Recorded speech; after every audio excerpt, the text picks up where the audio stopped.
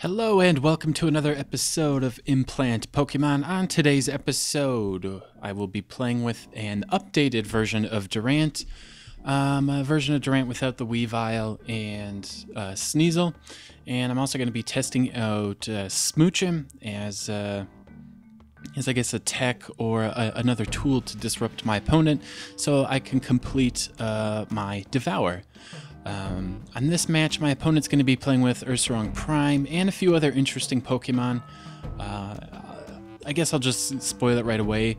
Uh, he doesn't take six prizes, and uh, he doesn't really take more than two, but that's not what makes the reason why I'm putting up this video is because it's actually a really interesting matchup, and uh, the Pokemon that he uses and the trainers and everything that he uses in his deck is actually something very unique I've never played against before.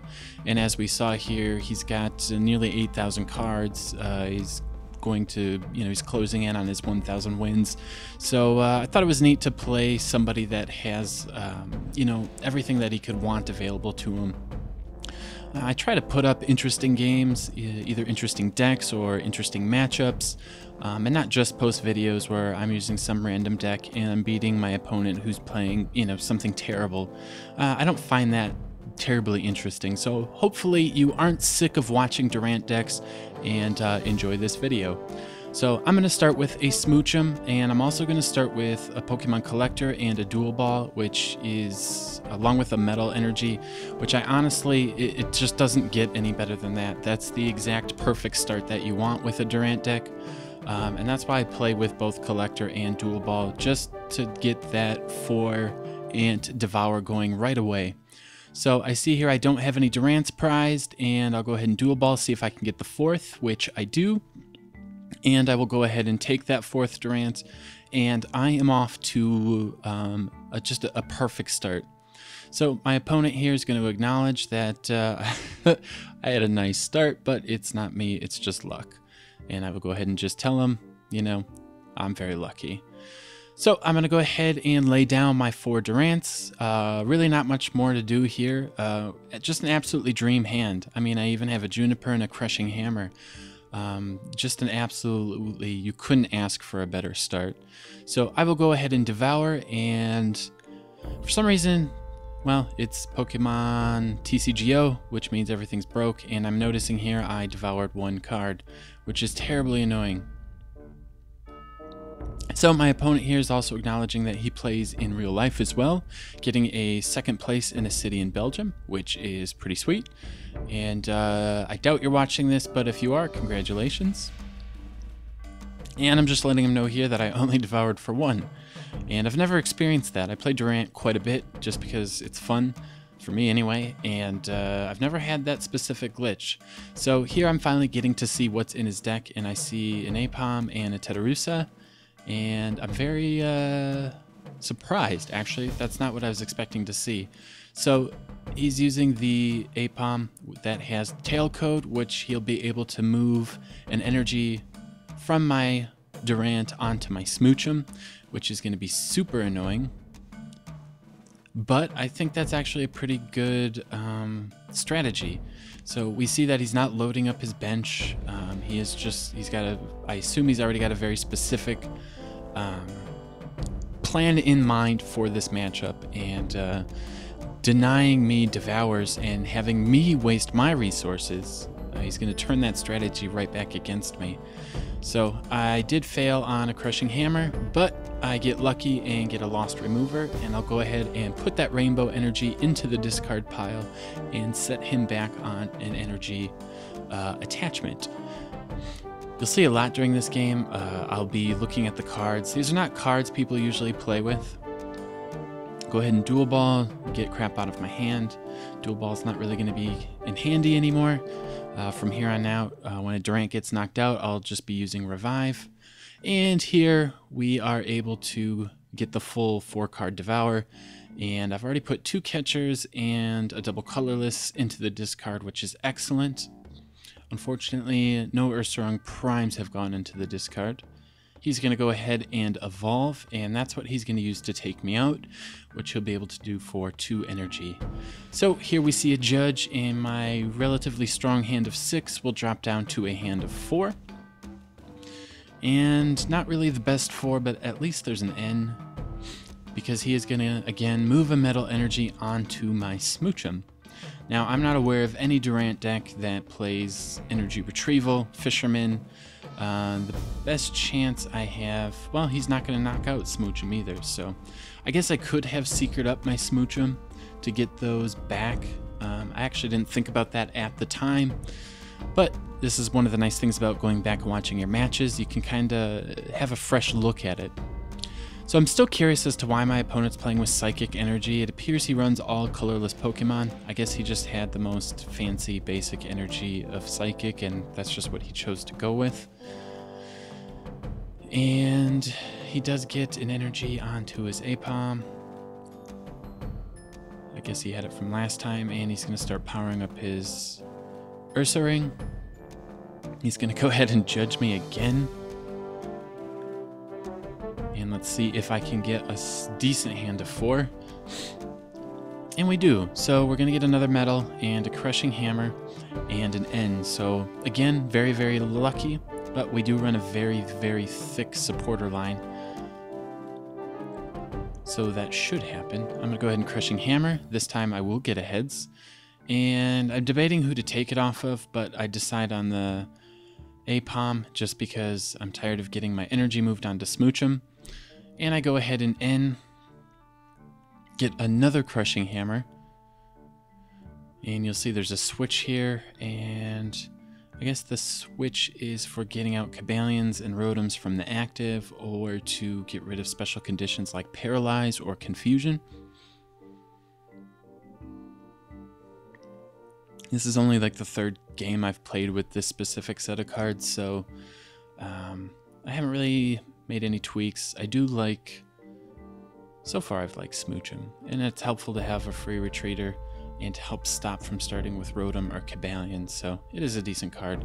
Others will go with the Mime Jr. to lost, uh, to lost zone things. Um, it's probably good in the mirror match when your opponent uses Rotom to put a Durant on, or hopefully put a Durant on the top of their deck, and then you use whatever Mime Jr.'s move is to put that Durant into the Lost Zone so they cannot see it again.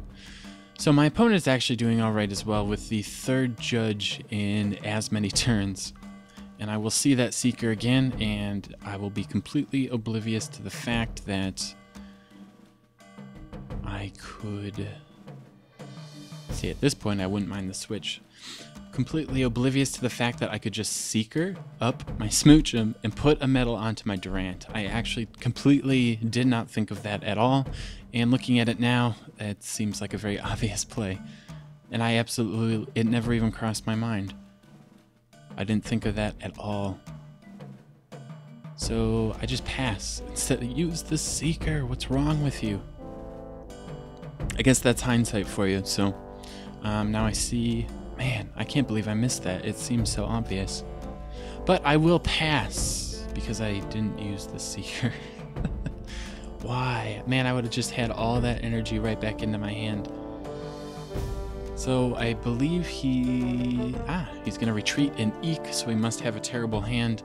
I assume he's hoping to get a double colorless energy so that he can start knocking out my Durants. I have yet to see any of my Eviolites, so the 90, um, the 90 damage that Ursaring will do with his first attack will be more than adequate. And I just end my turn, and again, not Seeker. So I have the first turn and then these two turns without actually devouring. And it's not my fault. Alrighty, so he's going to get a second energy and a damage counter onto Ursaring, which is important because then Hammer Arm will do 90 instead of 30. He will stay asleep. I will get an energy onto Durant. I will again not Seeker, and at this point, he must be laughing, like, why didn't you use your Seeker? But I will grab a Lost Remover which I guess is probably more important than Seeker at this point, so maybe it wasn't the worst play. And I'm just going to take that rainbow and put it into the Lost Zone. So I believe I have put two rainbows into the Lost Zone at this point. So he will wake up, and if he has a double colorless, his Ursaring will be ready to roll. And I'm just noticing now that he gets to discard the top card of my deck, which is incredibly ironic.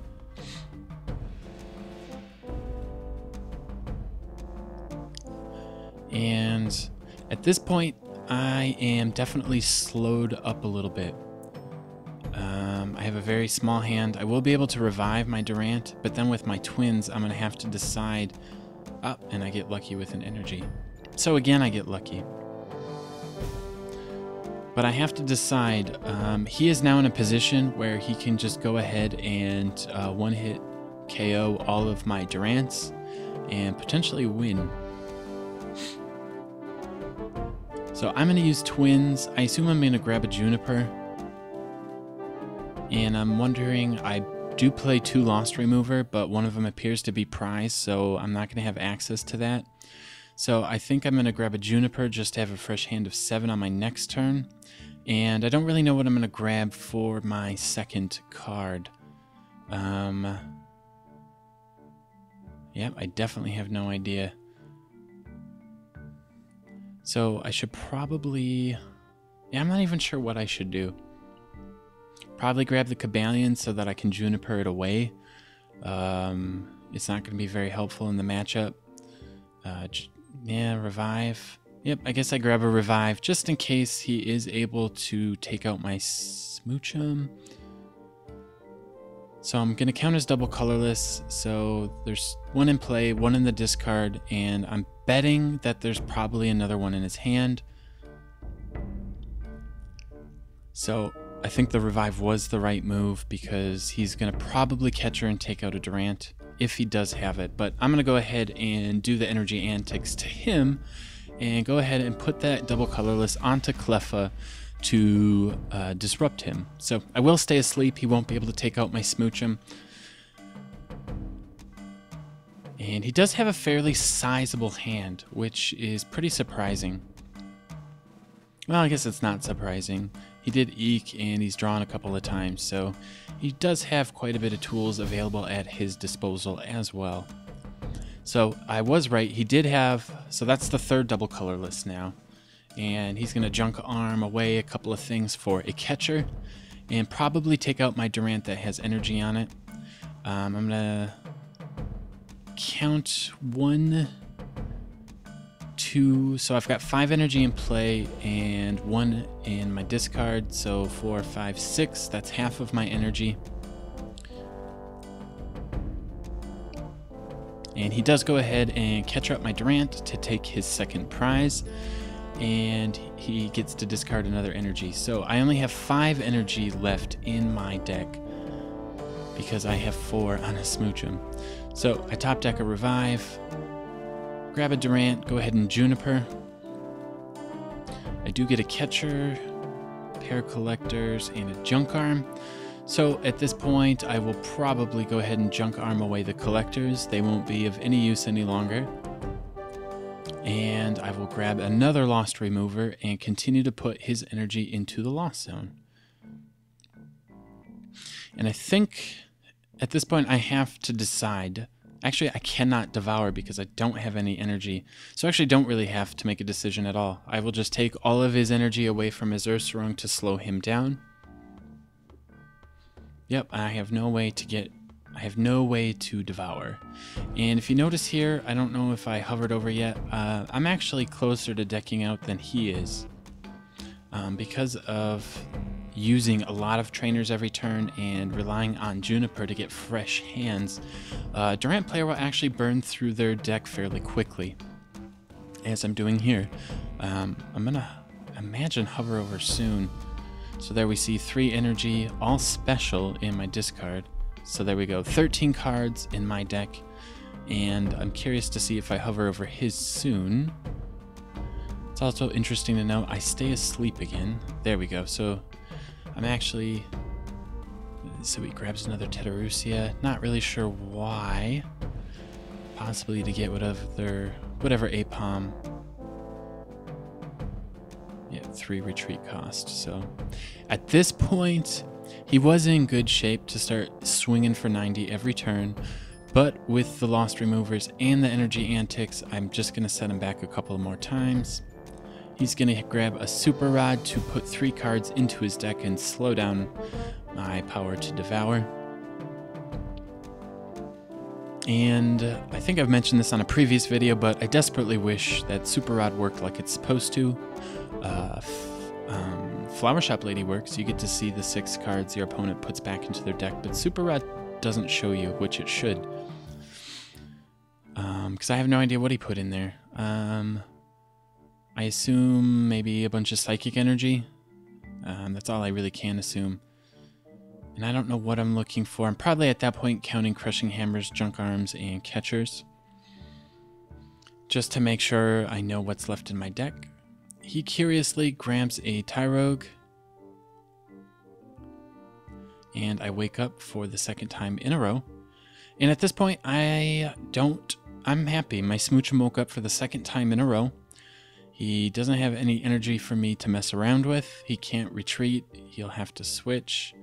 I will give him a fresh hand of four. And we're going to have a little chit chat here about Smoochum. And I agree with my opponent. Smoochum um, is actually a very strong card. Energy Antics is a terrific move. Um, it's not good against everything. Obviously, things with energy acceleration, it really doesn't matter. Um, Magnezone, for example, it doesn't really care where you put the energy because he can Lost Burn it from anywhere um, Reshiram Typhlosion, Magnezone Typhlosion all have the ability to just lay down energy anyway. Um, but uh, against a lot of decks, it's very, very strong. Durant, I'm actually, after this game, I realized how strong it was. So he's asked me if I play with a rainbow, and I believe I actually attached a rainbow at the beginning of the game. I can't remember. But the rainbow, uh, so Rotom can attack. He also asked me about Black Belt, which I don't play. Um, so with a black belt and a Rotom, you could potentially do a surprising amount of damage to kind of get rid of the problem attacker. For example, right now, um, with a black belt and a Rotom, if he had a fully powered up Ursaring, I'd be able to do 100 damage. And I believe Ursaring has 10 damage on him already. That might actually be enough to knock it out. I'm not really certain. So we spend a little more time chit chatting, and I apologize for not cutting this out. Um, yeah, and I can't type for. For some reason, when this game lags, um, it skips out a lot of my uh, keys. So he's going to attach another double colorless. I believe that will finally be his fourth double colorless, and I don't have to worry about them anymore. But he mentioned Prism Energy is going to be strong, and uh, I think it will be strong as well. But I think with that, uh, Crash Hammer and Lost Remover will be very popular. Um, I mean, you'd look at Six Corners, which has no energy acceleration. If you start taking away their energy, they're just they're going to get so far behind. So here, yeah, Remover instead of Remover. Um, probably just got hacked up. So at this point, I'm feeling pretty good. There are not a whole lot of cards left in his deck, and he is not able to attack me. And, uh, yeah, so I'm in perfect shape to finally win this game. I, I see my first Eviolite, and I think, what am I thinking? I think I'm going to Lost Remover one last time just to make sure. I don't know what Aipom evolves into or what its evolution does. So I'm just going to get rid of the Eviolite and the Cobalion. He can't attack me, so Eviolite's a really easy choice. And I'm going to grab that Lost Remover again. And just take care of that double colorless just to assure that he is not able to attack me on these last two turns. Um, I believe I've used two revives and I have Junipered one away. And I think I've used three junk arms to get lost removers. And uh, that means I really can't get knocked out anymore, or he may actually, and with the amount of energy he's messed up on my board, he may actually be able to make a comeback uh, if the circumstances are right. So I'm not even going to chance it. I will just go ahead and play the Lost Remover. Take it off of the Aipom, and I will Devour. And he has soon to be just two cards left in his deck, and this game is over. I have the Metal Energy, and So he's telling me that he doesn't agree with Cobalion in Durant, and I actually don't really disagree with that. It's actually pretty terrible. Uh, I do have one game actually where I faced uh, Beartic Kyurem, and I actually decided to take the six prizes with Cobalion rather than Devour with Durant and won the game. But it's a very situational card. So at this point, my opponent is just showing me what's left in his hand for what I can see is no apparent reason just for grins. And uh, it was actually a very polite opponent to play. And uh, I'm very curious about his deck and what else is in there and what the whole point is. Um, it looks like there's a lot of disruption there. So I will win the game uh, with devouring his entire deck. Uh, my new Durant deck here runs a lot smoother. Um, play a lot more supporters to stop that dead hand. My opponent did a fairly good job uh, slowing me down many turns of Durant, and uh, I hope you enjoyed this video. Thanks for watching.